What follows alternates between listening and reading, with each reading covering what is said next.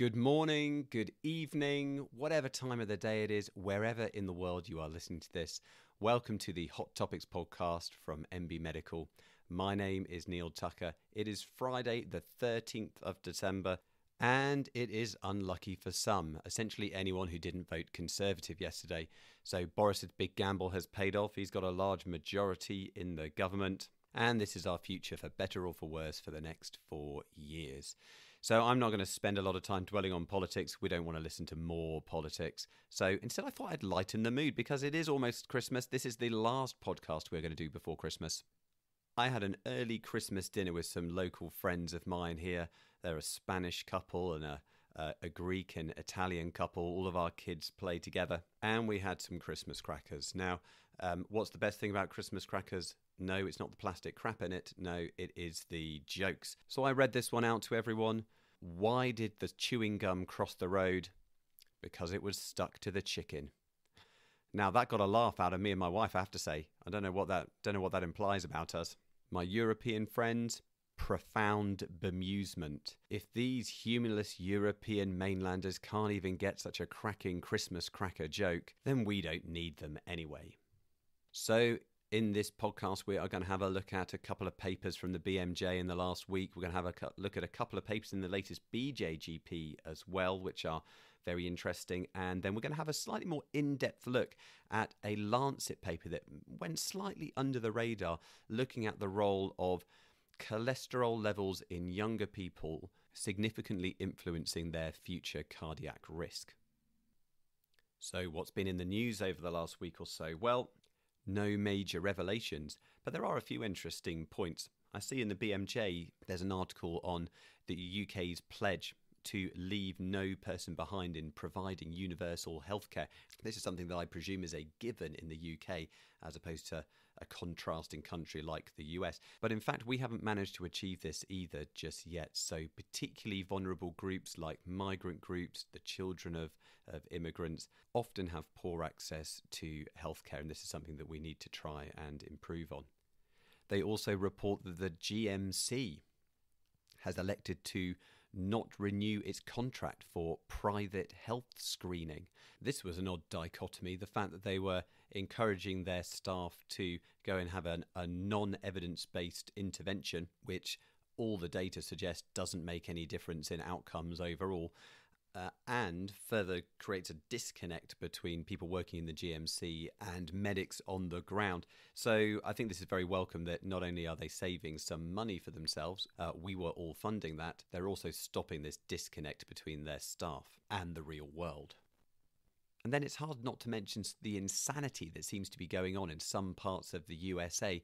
You might have seen a couple of weeks ago this report about Ohio passing a law where medics are being forced to to attempt reimplantation of ectopic pregnancies that have been removed, despite the fact that this can't possibly work.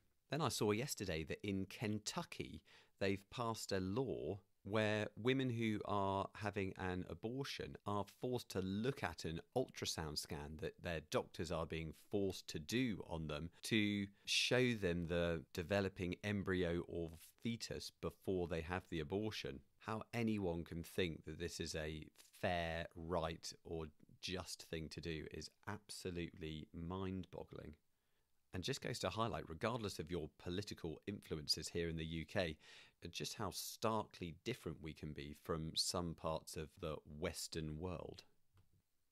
Now, onto the research. And there was an interesting paper in the BMJ looking at the best strategy for uninvestigated dyspepsia. So that's essentially everything that we manage in primary care. People have not had any investigations as yet. And we already, of course, have national guidance on this. NICE would suggest that we can either test and treat or we can use empirical proton pump inhibitor therapy as equal first line options. The reality is probably most of us would go for the latter just for its simplicity, although there is some data that suggests the former leads to slightly better outcomes overall. So, what does this new paper add to what we already know? Well, this is a network meta analysis. So that's the statistical technique whereby you can compare different treatments that don't necessarily have head to head trials looking at them, as long as they've got some unified baseline comparator. this all results in some very funky looking tables in the paper. So one of them looks like the atomium outside of Brussels, if you've ever been there. And then we've got a forest plot for good measure. It's all enthralling reading. So they looked at a variety of options, including the usual um, that we use already, but also uh, another option of prompt endoscopy and then test and scope rather than just test and treat. And the conclusion well, they all seem to be as good as each other. So this was not a cost effectiveness comparison. Um, in the discussion, they passed the comment that going straight to endoscopy is obviously going to be much more expensive than empirical trials of treatment. Um, but what it also showed, and what I think is just a fascinating insight into human nature, is that um, we are absolute masochists because patients, um, whilst they might be aware that there's no differences in the benefits of each of these different strategies, they much prefer to have a scope shoved down their necks early on in the hope that they would get a more definitive diagnosis. The next paper in the BMJ was one looking at the use of antibiotic prescriptions in um, ambulatory care clinics. So, this is primary care data that's come out of the USA. And I don't want to talk a lot about antibiotics today because we've talked about it on the course quite a lot before. There's been a lot in the journals and the press over the last few years. I think we're in danger of getting antibiotic stewardship fatigue, and the last thing I want to do is put everyone off. But um, but there was one really interesting point that that, that I saw that came out of this um, that I think we can give ourselves a pat on the back for. So out of the 990 million ambulatory care visits during 2015, 13% were prescribed antibiotics. Uh, according to the criteria the study used, 57% were appropriate, 25% were inappropriate, and 18% had no documented indication. And they were really interested in that last group and why there may be no documented indication. And one of the risks for that I found was if the patient has seen a non primary care specialist. So obviously this is much more common in in the US than it is over here, but I think it's fascinating to see if you go and see a specialist, they are much more likely to give you an antibiotic. They may not have a, a strong justification for that. We as GPs are potentially a much more accurate arbitrator of antibiotic use onto the BJGP and a couple of interesting papers here. The first was looking at the sensitivity of chest x rays for de- detecting lung cancer in people with symptoms. This was a systematic review of available studies. So, probably represents the highest level of evidence we've got in this area. And the conclusions are not really new conclusions, but they certainly do add weight to the fact that chest x rays are not that great at excluding disease. So they found even in people with symptomatic lung cancer, the sensitivity of a chest x ray was no better than 80%. So the clear message is that we as GPs, we should consider further investigation if we consider this patient high risk, if we remain concerned, and that CT scans are much, much more accurate. The second two papers are linked in theme because they're about communication of risk with patients and the potential benefits of certain treatments. This came from the same team in Australia. One of the papers was examining how best to communicate the risks versus benefits of SERMs, selective estrogen receptor modulators, in women who were at high risk of breast cancer but who had never had breast cancer and then the second paper was looking at the benefits and, and harms of aspirin to reduce colorectal cancer risk. Overall, one communication method called an expected frequency tree seemed to work best in terms of encouraging patients to engage with the intervention. And if you want to have a look at what they what they're like, then just Google expected frequency tree, have a look in images, and you'll see some fine examples there. They are pretty neat. It does make it very clear about the risk. But what I thought was interesting was that there's all this debate around well, how can we best convince patients to take some of these medications? There seems to be such surprise that patients aren't that engaged with these drugs. And I think we probably shouldn't be surprised. So, with the selective estrogen receptor modulators, the actual absolute risk benefit is just about 1%. So I suspect many patients will be thinking, well, there's only a 1 in 100 chance that I'm actually going to benefit from this drug. And I really don't understand what these drugs are, and I prefer not to have any side effects. So why would I start them? What's interesting is that for the colorectal cancer risk prevention, m- people were much more likely to be on board with the idea of taking a mini aspirin for a 10 year or more period. And I wonder if this is just because people feel that aspirin is a very, very non threatening intervention, something that they might do in their normal life anyway, and so they're much more likely to buy into that idea. Now, on to the main event, and this is a paper that published in The Lancet this week, which I think will completely change how we manage primary prevention of cardiovascular disease in primary care. Even if this study alone is not enough to completely change our practice, it's going to lead to a whole raft of research. We're going to see loads more in this area over the next few years as a result of this, and and I think that's welcome because it provides us with some answers to questions that we've all been asking for years.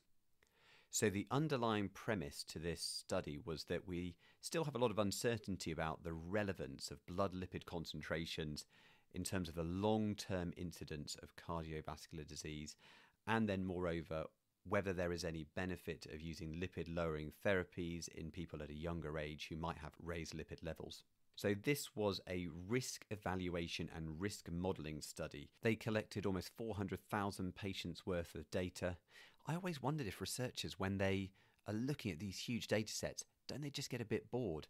But I guess maybe they're a special bunch of people. Anyway, they had 400,000 patients worth of data, half men, half women, a maximum follow up of 44 years, and almost 55,000 cardiovascular endpoints occurred. They then compared the population based around their non HDL cholesterol levels at a younger age. They also then compared them against age, sex, and other risk factors as well and then they piled all of that into their risk model and looked at the potential benefits of a 50% reduction in someone's non HDL cholesterol at a young age. There's a huge amount of data, which is actually pretty interesting, that came out of this study. But the simple conclusion was that a 50% reduction in non HDL cholesterol concentration was associated with a reduced risk of cardiovascular disease by the age of 75 and that this risk reduction was greatest the earlier you started reducing someone's cholesterol.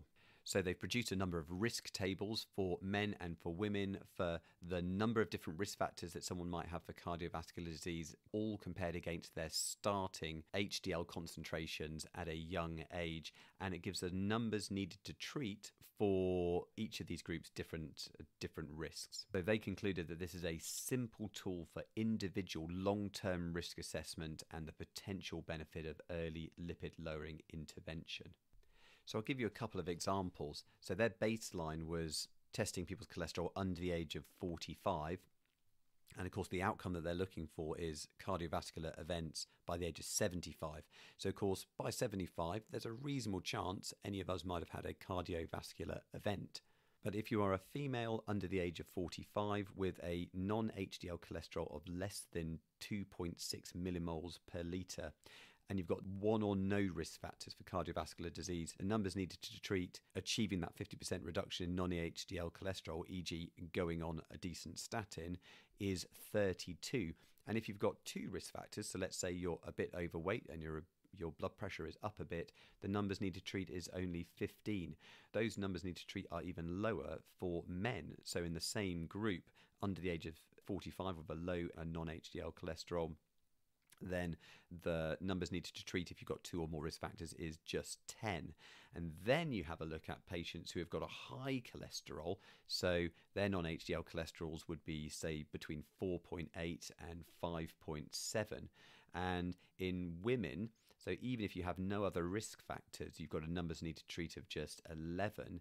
And in men, the numbers needed to treat is only 5. And that's even better, 3.6 if under the age of 45 you've got two risk factors for cardiovascular disease. So it is a little hard to assess truly how valid and accurate this study is. The risk model is very opaque, it's not something that we can test ourselves.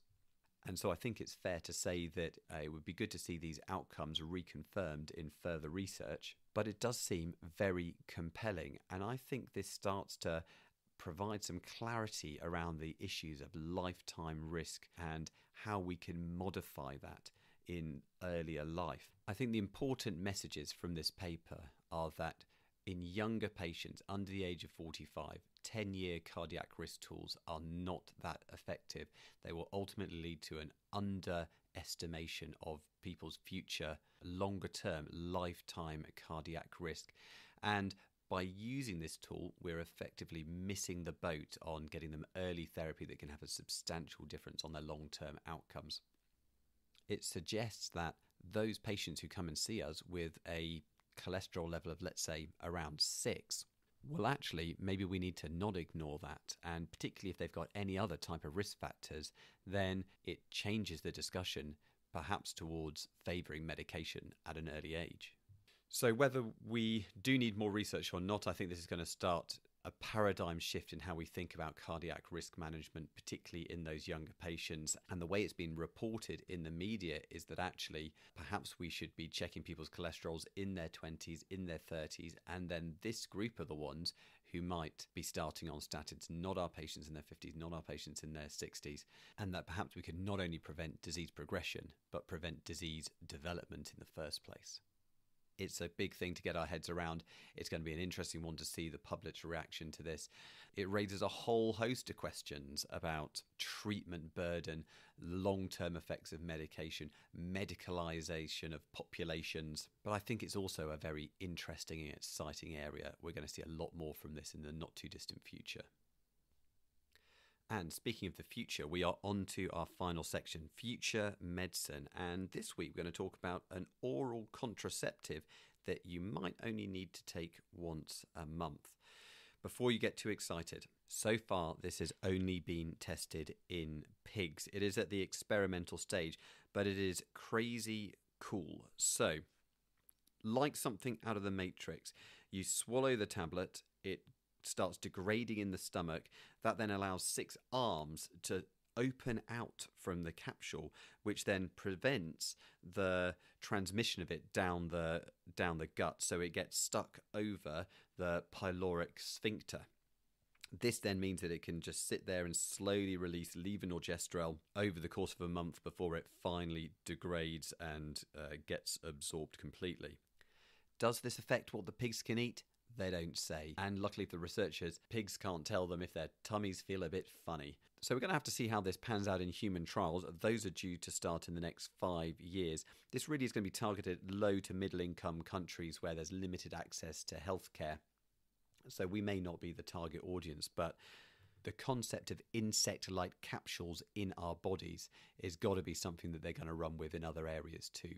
Watch this space. So that's it for the NB podcast in 2019. Thank you so much for joining us in our little experiment. I hope you've been enjoying this. We will be returning in the new year. So please do subscribe. Find us on Twitter at gphottopics.com. Please feel free to post your comments on Facebook. Um, if you find anything interesting out there in the medical literature uh, looking at the future of medicine, then please do let me know. You can always email me at neal at nbmedical.com. That's N E A L at nbmedical.com. And I, it just leaves me to wish you a very Merry Christmas and a Happy New Year. We will see you in 2020. Bye bye.